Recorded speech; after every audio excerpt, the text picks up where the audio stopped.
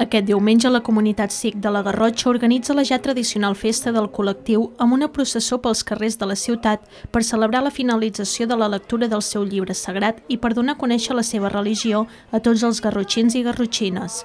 De fet, la celebració compta cada any amb prop de 1.000 participants provinents d'arreu del territori. I començarem el divendres a llegir, a gent, hi ha diverses persones que van fent seus horaris i acaba el diumenge a primera hora de matí.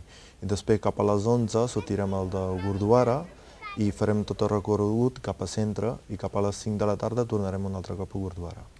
Des d'avui, els membres de la comunitat ja comencen la lectura ininterrompuda del llibre sagrat, que explica com ha de ser la vida a seguir i com l'ànima pot arribar a Déu.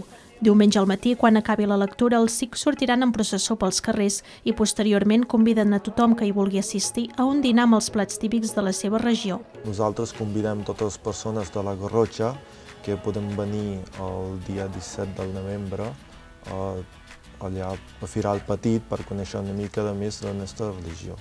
Es tracta d'una cultura oberta i generosa que té la intenció de donar a conèixer les seves costums i tradicions.